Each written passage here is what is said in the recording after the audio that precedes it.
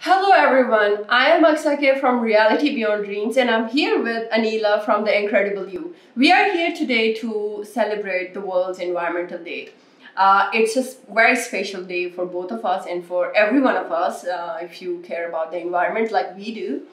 Uh, and I think it's very important that we celebrate this day like we celebrate Eid and every other festival because this is our planet and we have no planet B to go to. So I think it's very important that we uh, we keep in mind the climate crisis right now in front, right in front of us, the the crisis that we cannot no we can no longer ignore. I think we each one of us has to play a role in preserving the ecosystem, in making this planet a planet for every species, not just for the animal, uh, not just for ourselves you know and uh, this environmental day we are here with a, an amazing film from called we are nature by melanie challenger. And the film is an incredible film and we were really moved by it. And i would uh, give it to anilosh to tell you more about the film Okay, thank you, Aqsa, and hello everyone again. Uh, the film that we are going to screen today is called We Are Nature. It's a short film on the environment and um, the challenges that we are, our world is facing due to the climate crisis. And uh, this film is created by Melanie Challenger, an independent filmmaker from the UK. She is a philosopher. She is also a published writer, and one of her very famous books is called uh, We Are Animals. And she is an outspoken activist for animals' rights, for the world's rights, and for environment. So we are very excited to screen the film today and the reason we decided to uh, screen this film today on the Environmental Day is because Melanie has a very unique take on the overall discussion that is going on around the world during the this COVID, the pandemic situation. And uh, I'm not going to tell you what is her take because I want you to watch the film and find it out for yourself that what is her take. And I think it's very important that at this point in time, we have this conversation in every part of the world, in every activist, every individual, every artist, every filmmaker, all the institutions, we come together and we start talking about this environment. And I am very excited. Aksai is thrilled that you could see for uh, to celebrate this environmental day together with all of you here and everyone across the world who are celebrating today so let's watch it let's start the film also on one point i okay. want to add Yeah. so the most exciting part is like melanie will be there uh, to discuss the film and talk about more about what was going on in her mind when she was making the film and what's the philosophy behind it. So i'm super thrilled about it because i'm really a philosophy buff if you you know. But I, I think it's going to be an amazing discussion. I think you guys should stick around and let's watch the film. Yes of Yes. course.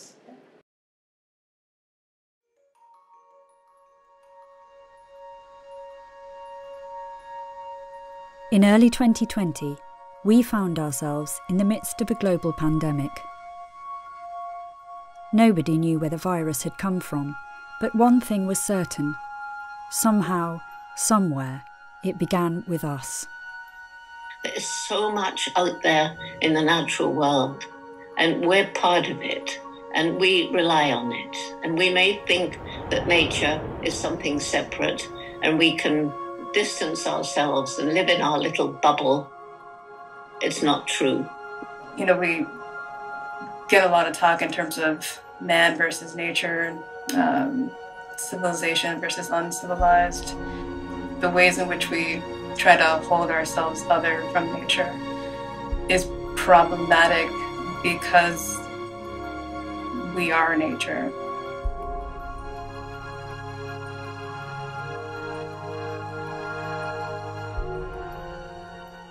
Where do novel viruses infecting humans come from? Everything comes from somewhere, and new viruses for humans come from wild animals. We know that. Wild mammals and birds probably carry about a million and a half viruses that we haven't even seen yet.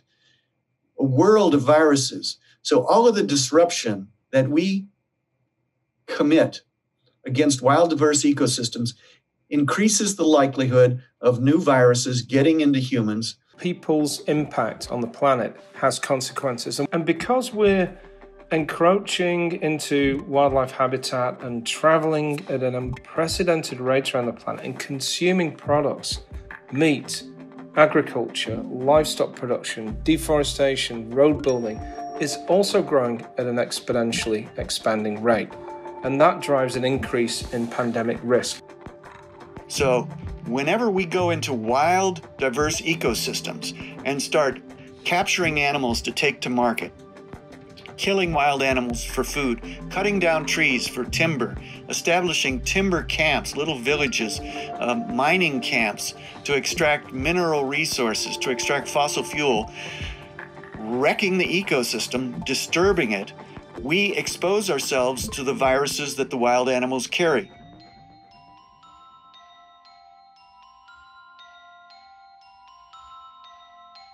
These patterns of our exploitation and consumption are proximate causes. They tell us how something's happened, but they can't tell us why. To understand those ultimate causes, we need to look at how we frame our relationship to nature. The value framework that is most responsible for this whole problem is the framework within which humans see themselves as detached from nature, as apart from nature, as above nature, and not as part of nature. It's kind of like human exceptionalism. People want to think that humans are exceptional, and I always say all animals are exceptional, but they want to place humans above and separate from other animals. And we need to recognize that humans are animals. Every aspect of how we deal with pandemics sets us as apart from nature. You know, we talk about zoonotic diseases, we talk about them coming from animals into people, but we're animals too. Um, we talk about them coming out of the environment into our communities, but we're in the environment.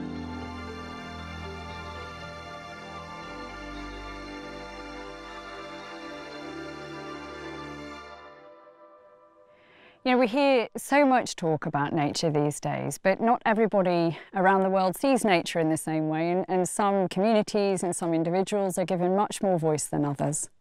There's a pretty clear delineation between sort of those that value the environment um, as something that humans should have dominion over, control over, that we are we are here on this planet to sort of steer and guide the environment around us. Um, often that that correlates with sort of a separation of humans from from nature.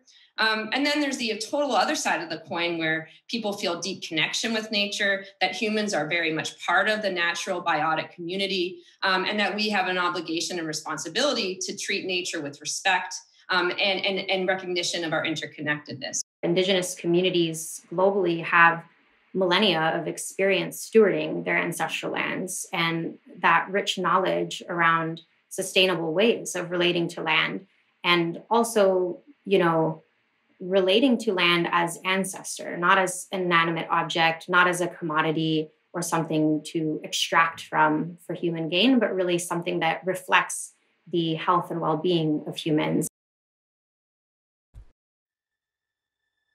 One thing that nobody's talking about as much as they should is that pandemics happen because of the way two animals interact, with us as one of those animals. So, one thing we absolutely need to rethink is our relationship to other species. So, it was very convenient for many people to believe that animals were just things, just objects, without feelings, without emotions because then to do the terrible medical research that has been done, um, to put animals into intensive factory farms, to hunt them, shoot them, kill them, eat them, sports hunt them, all of these things aren't so easy if you actually believe that you are dealing with a sentient being that has feelings, that has emotions, can feel fear and pain and despair. You know, I'll talk about animals as who, so it's who we're eating, not what we're eating. It's who we're dealing with in conservation projects, not what we're dealing with. And when you start using the word who, it really invokes this idea about sentience and feelings. One silver lining of the pandemic is that it has created an opportunity. The other thing that's come out of this pandemic um, is just a real awareness of our interconnectedness as human beings around this world, um, as well as the need um, to understand that we are so dependent on the non human beings that also share this planet. I hope that people will begin to realize that we need to behave differently, that we need to emerge from this pandemic, as we will, with a new respect for nature, the natural world, and animals, and realize that we cannot continue to treat nature, to treat animals in the way that we have been doing. We need a broader framework of value. We are part of nature. Nature has inherent value just as we have inherent value. It's not an all or none sort of thing. It's a matter of balance and degrees and connectivity. Without that, uh, we're in big trouble.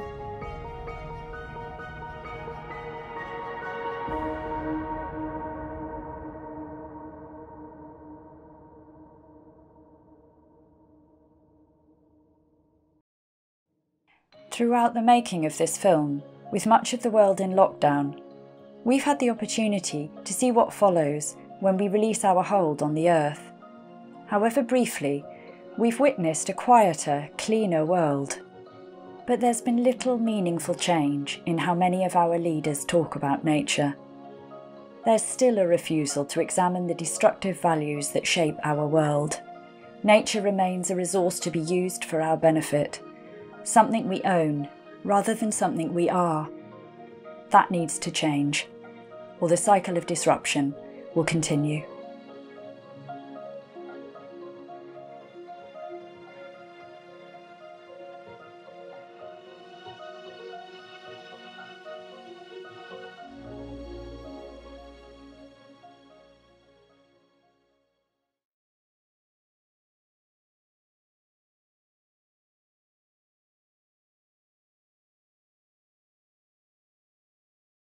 First, we went and ravaged the earth, and we ignored those who spoke out because we didn't understand our relationship with the earth.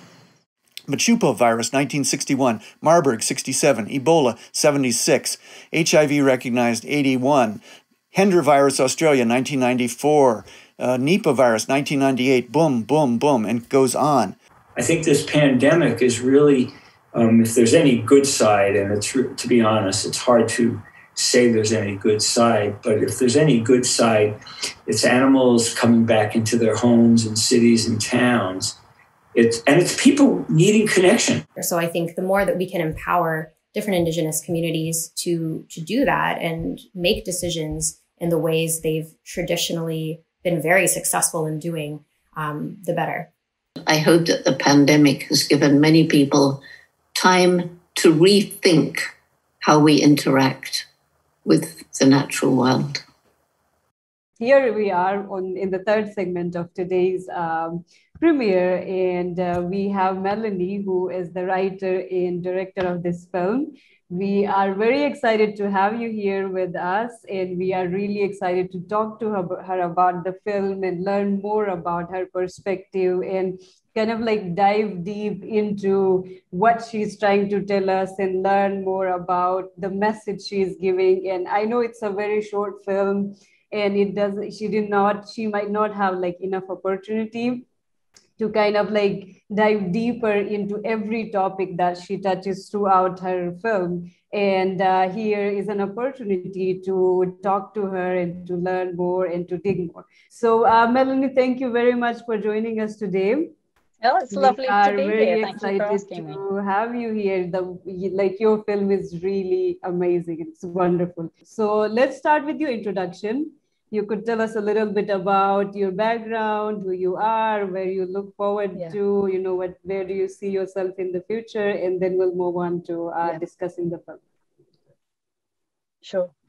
So my name is Melanie Challenger, and I I'm a writer primarily. Um, But my work is really on, it started in environmental history and it moved progressively into environmental philosophy. And I do a lot of work now in ethics, so environmental ethics and bioethics. Um, and I'm a member of the Nuffield Council of Bioethics, which is the UK's major bioethics body. So you know, bioethics is really about looking at all of the ethics with regard to how we relate to biology, to nature, to life sciences, all of those sorts of things. So it could be genome editing, it could be farmed animals, it could be all of those sorts of things. So that's my sort of work. Um, I've written a few books that have all really been environmental history um, and philosophy. So I wrote a book called How to Be Animal, which was all about trying to uh, recognize that we are organisms ourselves, that we are reliant on the rest of nature, that we're a part of nature, but that we have lots of ways in which we try to keep ourselves separate. And what follows if you bring everything closer again? So that was and then I, book, I wrote a book called On Extinction, which, which was really about looking at a young person's perspective, because I was quite a bit younger then, on the biodiversity crisis and just the Anthropocene, actually, the way in which we have become estranged from, from nature and, and become a destructive force um, for all the good that we can do, but broadly a destructive force in, in terms of affecting Earth systems and, and uh, pollution and, and, and other species and the ability of other species to thrive so this film really you know we found ourselves in obviously i trade in these ideas all the time but i found myself in the lockdown and i found lots of people asking questions about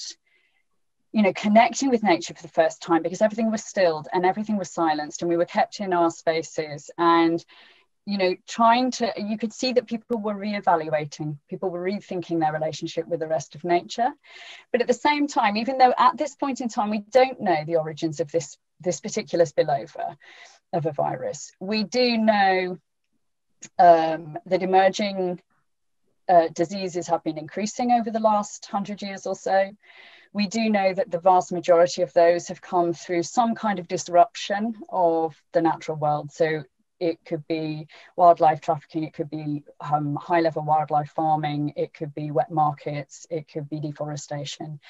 Um, with this with this virus there are a lot of unknowns but we we know that somewhere along the lines a human being was interacting with a non-human animal and you know in in ways that were not ideal and and we've ended up with with a disease that is affecting us precisely because we are animals too. You know, we can get it, minks can get it, gorillas can get it, tigers can get it, you know, because we're all interconnected. So really the film was was initially came from the fact that I think this is an inflection point and we wanted to, to try and capture that as best we could. Very cool. And uh, just on a side note, besides the uh, the recording that we are doing for the show amazing film. Like especially the quality and everything all the effort and thought you put into the film it's yeah, like yeah. you can see it while watching it. So thank you so much. I would like uh, now Aqsa to uh, you know like ask her question. So hi melanie. Uh, it's nice hi. to see you again. Uh, so i i just wanted i want to ask you about this um, how like how does a uh, like writer decide to make a film? Why do you choose this medium as a is something that you want to uh, convey your message? Because i know filmmaking is really important and it's huge right now but for climate reality right now how can we use this platform or this medium to further yeah. the cause or how what do you think was going on in your mind when yeah. you were thinking okay i'm going to make a film even though i'm a writer but let's yeah. make a film it's a great it's a great question because um, you know i work in philosophy ultimately mm-hmm. and philosophy is really requires not only it's a lifetime practice for starters you know it's not something you can just put into 140 characters on Twitter, you know, it it it lends itself to a book because a book is really a, a sort of mini brain. It's an you know, it's a big form. And films don't do that. Films are visual, they're impactful, they can be very short, and they can provide opportunities to grab people and get people to and grab them emotionally because they're visual. Um, mm-hmm. And then you hope that they will go to books, that they will go to discussions, that they will go to citizens' assemblies, that they will go to other spaces mm-hmm. where the opportunity to deepen their understanding and ground their understanding in, in further knowledge is, is there. But why film for me after all of these years is because I'm extremely passionate about what we might call deliberative democracy. So the opportunity for general mm-hmm. publics, for everybody to be a part of the decisions that affect our lives. And for it not just to be expertise, it not just be stakeholders, it not just be politicians and people with power and corporate power, but to do that and I'm so I'm very involved in how we can engage people with ethics, engage people with the knowledge you know that they need to make informed decisions about what they buy about what you know how they are mm. as consumers what their actions are how to empower people to make choices that will influence those who do have the majority power how to vote mm. all of those sorts of important decisions so providing spaces to think about these ideas and i learned you know there was I'd assumed, you know, I'm a writer, so I'm always like, read books, mm-hmm. right? That's my, my point of view. But at the same time, I had to recognize a number of years ago when I was trying to engage people, public, you know, engage publics, that I I, I, looked at this was actually more in bioethics it was looking at genome and gene editing and, and really wanting people to be empowered to be involved in that sort of thing but also climate mm. science and what I found when we looked at what publics have been saying, and this isn't just in the UK and Europe, this is actually in lots of different countries. So similar facts in, I don't know about Pakistan, but certainly in India, I know. Mm-hmm. People were saying, we don't know as much as we want to know. Um, we don't know where to get that information, but ideally we would get that information through TV or film. And I guess that's because it's a very, you know, um, concentrated way of of showing people what they need to start to think about. So that's what i think film is really good. It's like a hand that reaches forward grabs people and, and hopefully takes them into other spaces that they can do the thinking. You can't do everything on film you know you need to then go back to books you need to then go back to environments where proper deep thinking can happen and then through you know that you can act in some way in your community. But film is a great starting place to get people to reflect. Mm-hmm. and like a follow-up question. So what do you think like filmmakers from these communities like for on the ground communities what do you think they could do to amplify the message or accelerate the process of getting more people involved in the process of uh, decision making and getting in strategic thinking about climate crisis and being actually involved not just on papers but being actually involved in the um, decision making and how to steer away from this crisis so. Yeah i mean there's two there's two routes that i see. So one route um, and, and they have advantages and disadvantages. So you probably need to use both in parallel. So mm-hmm. For filmmakers who are really passionate about issues that really matter, to a certain extent, getting out there, being budget free, you know, being budget free, doing kind of indie making and getting content out there, exploiting the de- democratic nature of the internet, of the platforms that are available, is a way of being free of anyone controlling your message, allowing you to have a very um, mm-hmm. honest and authentic take on on. And so we need that to be happening, that independent world of, of content making and and a, a, swell of it. It doesn't matter if one film only gets 500 views and another film gets 50,000 views. They all work together in building a cultural momentum for change. So they're all valid, they're all valuable. Um, but the other thing that you can do that's probably more directly high impact is to be a filmmaker but join in with someone who is established, like an established NGO, who's doing work that you care about, who already has a, a, platform or a credibility, and provide content for them because a lot of big organizations are wanting that kind of thing. And so I think, you know, there are two routes. One is the kind of I guess the mainstream, mm-hmm. more of a mainstream route, and the mm-hmm. other is the indie route. And I think they're both equally valuable um, mm-hmm. because obviously, as soon as you map, you, you, as soon as you join in with a big organization you're going you, you know there's going to be some element of control in what you're able to do mm-hmm. with your content. But so both are, are needed um, and also i do feel that we need diversity. We mustn't have one person or one set of organizations or one country one nation one worldview. We really do need to um, amplify diverse voices um, small voices that are doing certain kinds of things that won't necessarily go viral and and big voices as well. We need all of it. Um, and yeah i think you kind of that that's what, what i would say. Mm. thank you so much for this answer. I guess a lot of our filmmaker friends will uh, take a lot of inspiration and guidance from this.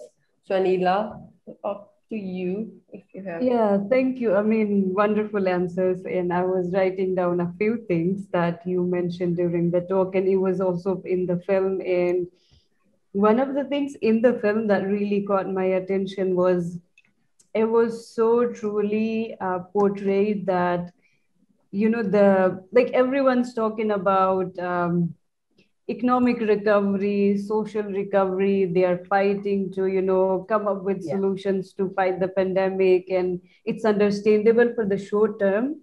But uh, the talk, this discussion about environment, our uh, interaction with environment, and the influence we could have had, and how it has changed during the pandemic. And that was the and- one thing we really wanted to do absolutely. I'm really glad you say that because ultimately there's so much that you could do with this but we wanted to just get one message across to people. And it's quite it's really quite a simple message and it isn't giving this you know people want to be told straight away. Absolutely. I'm really glad you say that because ultimately there's so much that you could do with this but we wanted to just get one message across to people. And it's quite it's really quite a simple message and it isn't giving this you know people want to be told straight away what the solution is but we couldn't do that with this because we're asking people to critically examine their value systems. We can't tell them what their value system ought to be.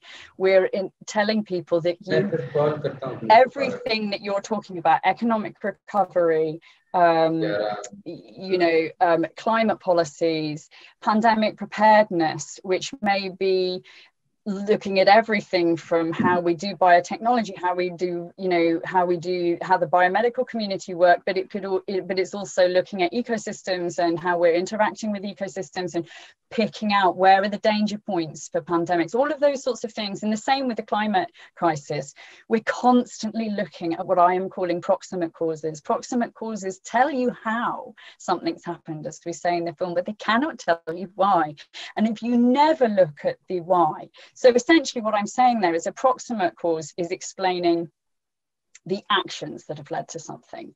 It doesn't explain for us as human beings the motivation for the action.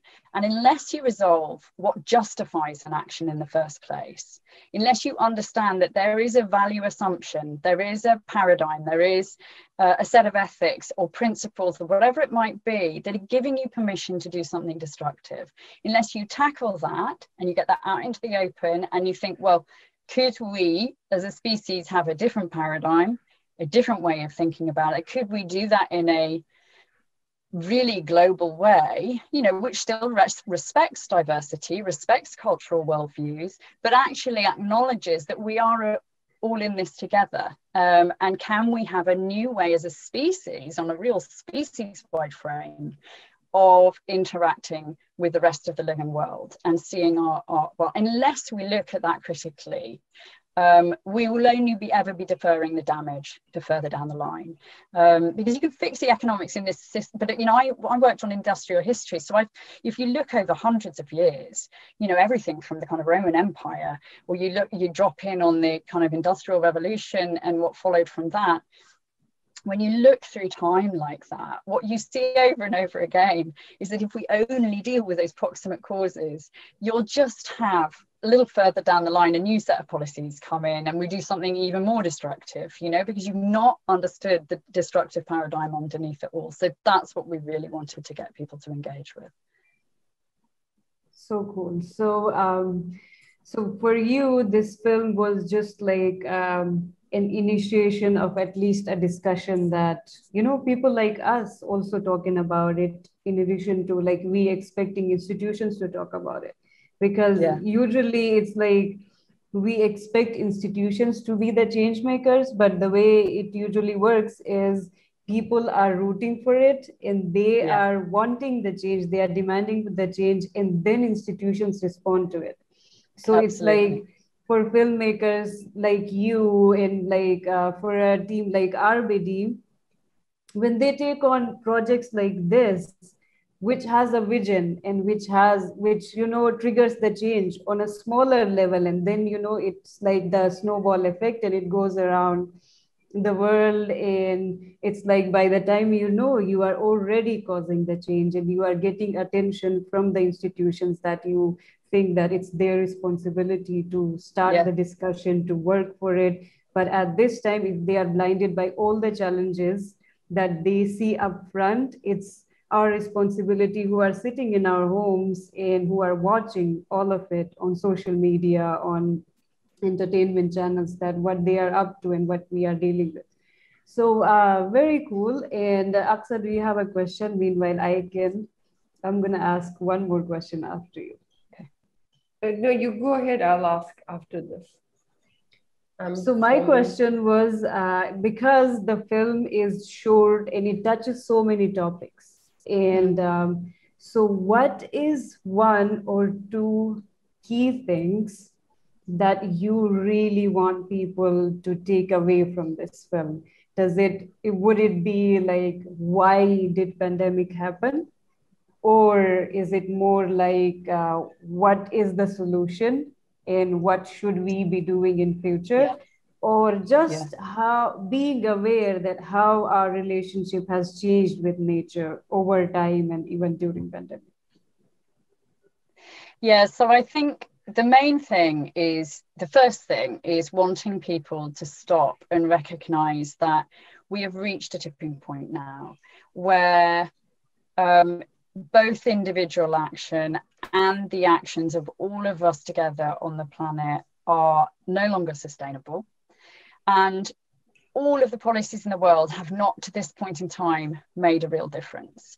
So the only way we can move forward now is to completely rewire our brains. You know, we need to actually think our way into ecosystems, think our way into the natural world in a completely new way. Now, I spend a lot of time talking to people from lots of different cultures, including First Nations, for instance. And you know, in a lot of a lot of First Nations, you know, people might come back and say, well, we're already seeing ourselves as as embedded in nature, and, and you know, we don't have such a kind of um, separation in our minds, which I totally respect and I understand that.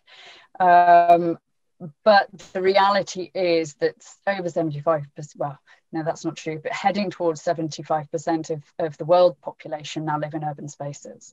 So most of us are living, like a huge proportion of us are living in environments where our action and the impact on the rest of nature is, is has been separated out. So we have to make that visible again. So the film is partly about saying, well, that this little invisible virus has made visible how broken that is, how damaging that is. But we can't stop at this now because the pandemic will go away an incredible forgetfulness will sweep over us again, and it will be business as usual if we're not careful. So we have to stop now and we have to think our way back into nature. And that is going to require actual proper, proper thinking. We have to totally reimagine that relationship that we're going to have with other animals. I think that's a real key one, and probably that would be my punchline that I think, you know, we cannot get away with treating other species as though they have no meaning other than an instrumental one for us. So we have to rethink their their you know um, right to live and to to exist and our relationship with them. We need to rethink what we're taking and we need to rethink the whole idea of what human progress and meaning looks like. So that's those are the key kind of take home messages. I have just one last question, and I guess okay. uh, the question is like, how do you how do you think these voices, like the film, like yours, and these voices who are mm, who are like demanding an alternative way of life, I guess compared to the million and billions of dollars that corporations are spending on selling the exact things that might be the cause, like the biggest cause of the uh, climate change. So, how do you think our voices or these films are going to create the impact that we want in yeah. in the world, or we can influence those, these people yeah. with our messages when they are putting like tens and billions of dollars? Yeah. So I think this is this has been this is an age old problem so how do how do citizens, how do individuals who feel powerless and oftentimes are and might have none of the kind of um, accumulated wealth that gives you a completely disproportionate amount of impact on the world as an individual. Um, I think the only the only way we can do it is cumulatively together. So you talked about it earlier in terms of the the way that value shifts happen value shifts have always happened, even though those who have the most to lose, so the people who are monopolizing the power or the resources or doing the unpleasant thing in the first place and maybe that we could think of something like slavery as an example of that or you know the actions of empire for instance. You know those are all examples historically of where deeply ethically troubling um, actions have eventually you've been able to fight back against them. People who've been utterly powerless have been able to fight back. Or it could be female emancipation, it could be any of those sorts of big, you know, um, moral value shifts that have taken place in history usually what happens is you do you have a range of people culturally who are thinking about it who start publishing or talking about it. It could be anything from a pamphlet to now our equivalent of that which would be short films which are kind of like pamphleteering in a way if you like creating mm-hmm. social action social impact. That sort of starts to bubble up so that enough of us know that an injustice is taking place. And then basically you have to as a as a as a um, mass together, not as individuals, but as a mass together, then you recognize that you are the votes, you are the consumers. That ultimately, if you will not facilitate their world for them, um, in, in knowing or unknowing ways, that's where your power lies, that it becomes untenable for them to retain their power or and and they have to the sadness of large societies and the ability in large societies for people to monopolize power in any kind of way is that, of course, you're often only ever pushing that corruption somewhere mm. else. It'll pop up again and we'll have to deal with it again mm-hmm. further along the line. But you can create big, big kind of value shifts through through mm-hmm. that you know a sufficient threshold being reached where everybody can work together and recognize that we actually can hit people on votes we can hit people on what we choose to consume and what we choose to do. Um, and also making it so morally problematic that it's not something someone wants to be allied with any longer. It's it's a paradigm or an idea that people you know don't want to be seen as a part of anymore. That's another power which is really a mm-hmm. social power if you like but it basically becomes deeply uncool to continue to do that. It becomes toxic if you like to their reputation. And that's another source of power. But in the end it has to be cumulative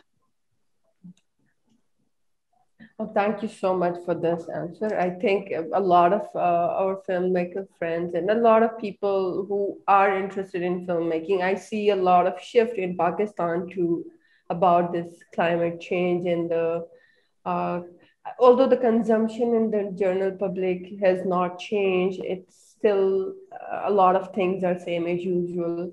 But there is a space where people are talking about these issues and a lot of good films and people are still talking like people are talking about making films people are talking about these on the ground realities uh, talking about them and also like capturing the essence of what is their story how are they making a difference how are they being resilient and the stories of resilience against what's already happening in these communities. I think it's very important for the to form a global narrative also but also to be inclusive and embrace this as a global challenge is something that all the humanity has to face thank yeah. you so much melanie for joining it's us it's been a pleasure Thank cool. you for having so, me. Um, oh, I have a question.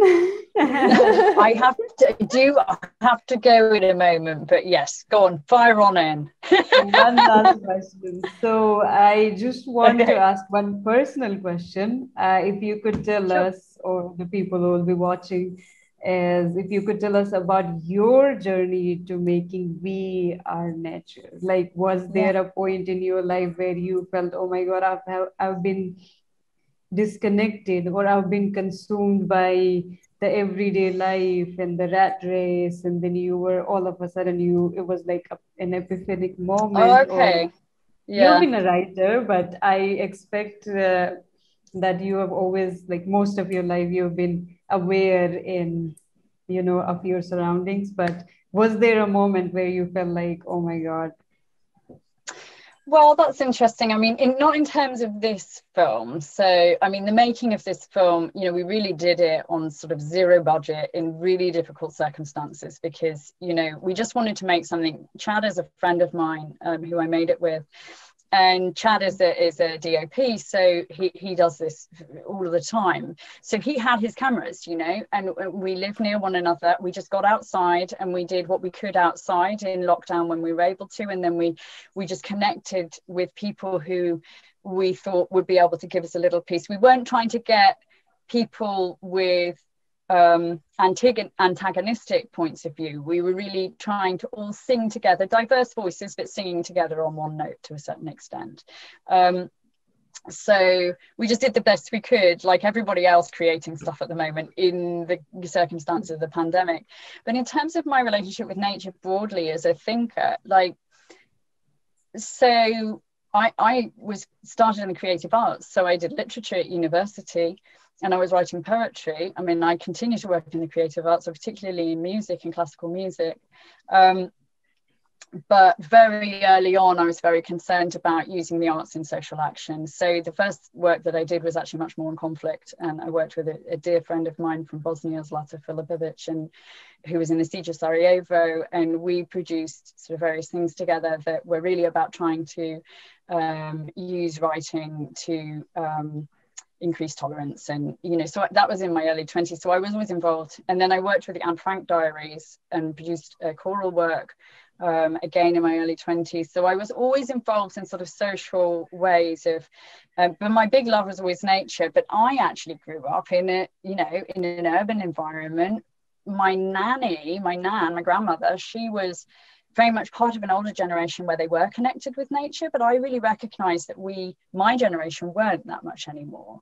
Um, and even many colleagues that I have now who work in in environmental, you know, they don't necessarily know what flower they are seeing, you know, on their local patch or what, you know, they're not necessarily brilliant naturalists, you know, because we just have lost so much of that now. And a lot of our lives, you know, separate us away from the kind of slow process of really bringing the life around you alive and understanding and knowing what you're looking at.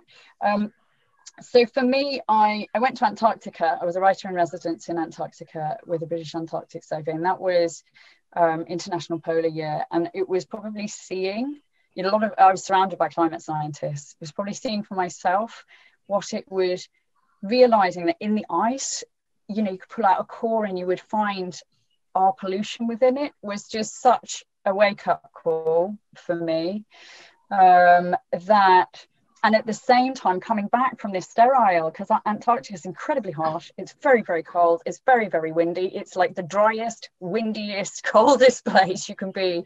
There's no vegetation to see. There's you know it's really hard for people to live there. And i came back to the spring and i saw the flowers and I just wanted to fill in everything. I wanted to understand every flower I was looking at. I wanted to understand every bird that I could hear.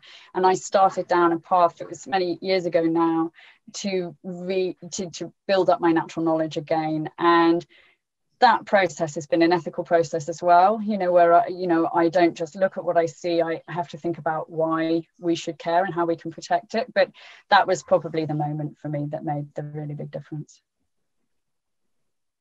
Awesome. So I think uh, Zoom is also giving us the heads okay. up that you need to go. Thank you so much. Thank you very much for joining us. Thank you so much, Melanie. For... Yeah. Thank you for Thank your time. Melanie. Thank you so much for and happy holidays. I hope you enjoy the nature as much as you want. and thank, thank you. you. so yeah, much stay in touch with me, you guys. Yeah. Yes. yes. Okay. All right. Take- what the solution is, but we couldn't do that with this because we're asking people to critically examine their value systems. We can't tell them what their value system ought to be. We're in telling people that everything that you're talking about, economic recovery, um, you know, um, climate policies, pandemic preparedness, which may be looking at everything from how we do biotechnology how we do you know how we do how the biomedical community work but it could it, but it's also looking at ecosystems and how we're interacting with ecosystems and picking out where are the danger points for pandemics all of those sorts of things. And the same with the climate crisis. We're constantly looking at what i am calling proximate causes. Proximate causes tell you how something's happened as we say in the film but they cannot tell you why. And if you never look at the why so essentially what I'm saying there is a proximate cause is explaining the actions that have led to something. It doesn't explain for us as human beings the motivation for the action.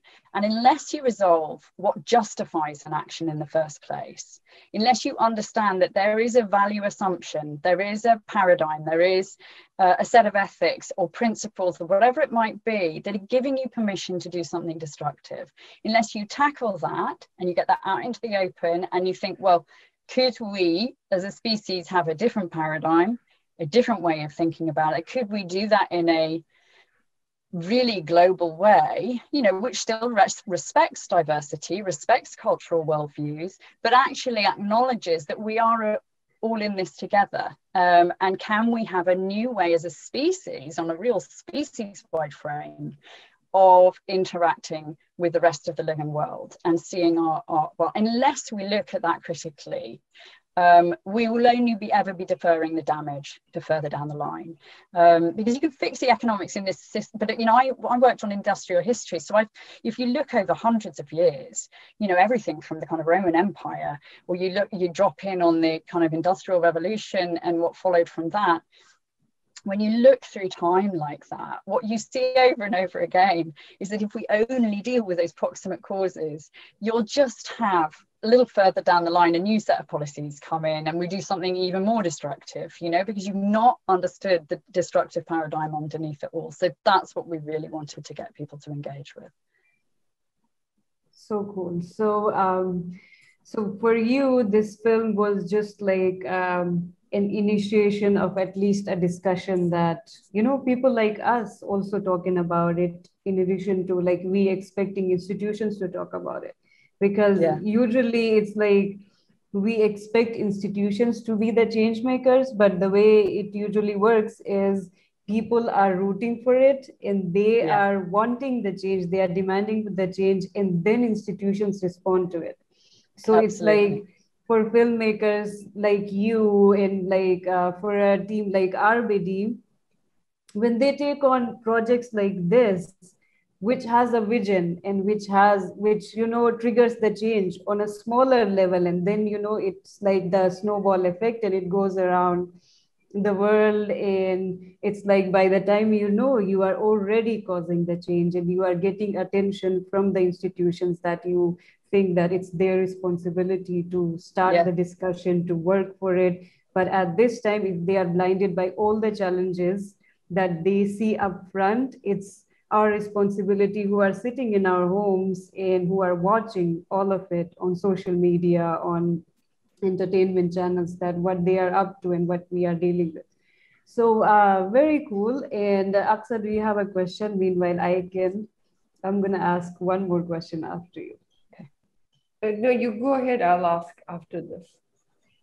Um, so my question was uh, because the film is short and it touches so many topics, and um, so what is one or two key things that you really want people to take away from this film? Does it would it be like why did pandemic happen, or is it more like uh, what is the solution? and what should we be doing in future yeah. Or just yeah. how being aware that how our relationship has changed with nature over time and even during pandemic yeah so i think the main thing is the first thing is wanting people to stop and recognize that we have reached a tipping point now where um, both individual action and the actions of all of us together on the planet are no longer sustainable. And all of the policies in the world have not to this point in time made a real difference.